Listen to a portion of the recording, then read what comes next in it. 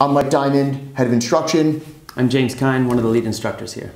and we're here to talk to you about some of uh, the questions that we've gotten on our fancy social media platforms. Yeah, so first of all, thank you guys. We asked uh, for you guys to give us some questions. You have asked the questions, and uh, I guess kind of talked ourselves into a corner because now we have to answer them. But uh, Do you have the answers? Uh, I have the uh, the answer guide. You know, Answer that's guide. pretty much just so you know. That's always the GMAT instructor's trick is we have the answer guide. That's that's it. That's the only difference. That's actually totally not the trick. the trick, and, and this is actually a great place to start. Okay. Uh, what materials to use, but I want to talk especially about uh, the, the quality materials out there. There's a wide variety of materials out there. There are a lot of materials, but a wide variety of, of quality. I think is what you're saying. a wide variety of quality, but even the good materials in terms of the problems often do a great disservice to our clients by saying this is how you do it. Right. You look in the back and you see this. Is, it, it's more apparent with the quantitative. Yeah. Uh, here's all the algebra you need to do. Right. And so many times it's not about the answer; it's about thinking about other solution paths and getting around the answer.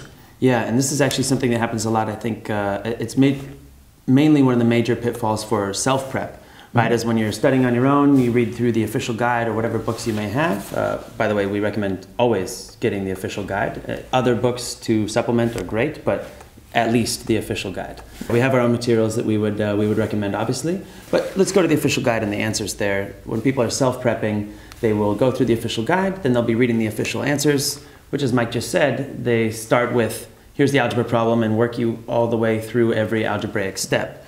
And I, I don't know if you guys can tell, we haven't rehearsed. And uh, this is actually a, a GMAT moment. Yeah, we maybe should have rehearsed. You know, it's uh, failing to plan is planning to fail. I think is what we say. Yes and no, though, but we have all the answers. We don't need to go over the answers in advance. We don't need a script because we live and breathe the GMAT. This is all we do. And th- this, in that way, is a strong parallel for the GMAT. When you're sitting the exam, you don't need to know the answers in advance, A, B, C, D, whatever. If you have the tools and the knowledge, the experience, the expertise, And then the answers are going to flow. uh, the tools, the knowledge, the experience, expertise, and all of that, I think, adds up to what we're talking about, which is also the, the confidence to know Yeah. you can go to that test and you can take it. Right now, we may be overconfident here, but it, it's something we're working on. All right, uh, but being confident when you get to the test is definitely key.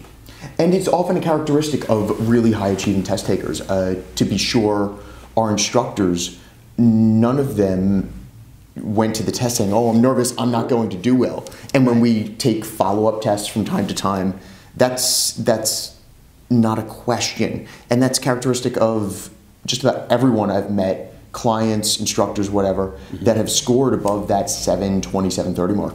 Yeah, I think irrational confidence is probably my best uh, my best characteristic as a test taker. Really. That's your best characteristic overall. Yeah. Thanks, Mike.